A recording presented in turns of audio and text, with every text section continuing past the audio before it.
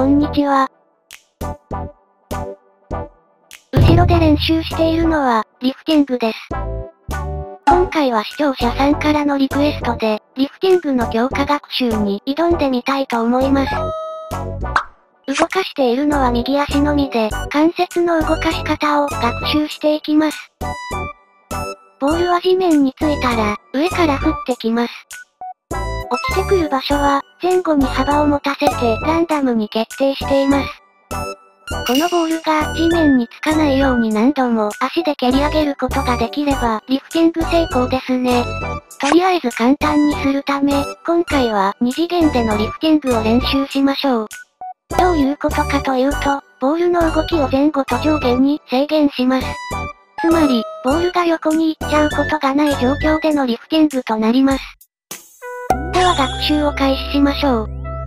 AI が搭載された右足は、ボールの位置や速度と、自分の足の位置や速度などがわかります。それらの情報をもとに関節を動かした結果、ボールが足に当たったら報酬がもらえ、ボールが地面に落ちたら罰をもらいます。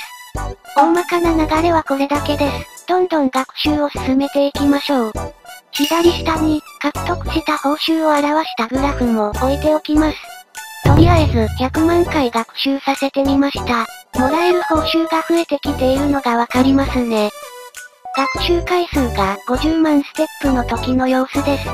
つま先でボールをうまくキャッチして持ち上げていますね。素晴らしい。もうこれで完成でもいいんじゃね？とも思ったけどまあまだ進めましょう。二次元なので学習しやすいですね。100万回というのは、ボールが地面についてやり直した回数ではありません。物理計算を行った回数です。ではそろそろ学習が終わるので、結果を見てみましょう。リフティングの基本方針は変わってないですね。つま先で体の方にボールを持ってきて落ちないようにしています。うまいうまい。ボールが落ちなくても10秒でリセットしています。でもやってほしいリフティングとは違うんだよな学習の仕方やハイパーパラメータの調整などでまだまだポテンシャルはありそうですね。とりあえずこれでもボールを蹴って維持はできているので、3次元でも学習してみましょう。はい、ボールが横にも行けるようになり、足の付け根の関節も左右に曲がるようにしました。これだけで難易度が格段に上がりそうなので、とりあえず1000万回学習してみました。すると、こうなりました。足先の上に乗せて耐えています。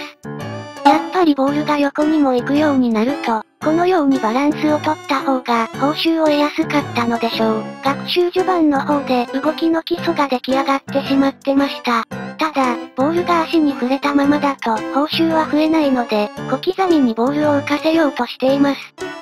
ほんのちょびっとでも足から離れたら OK ですからね。そこの改善の余地もありそうです。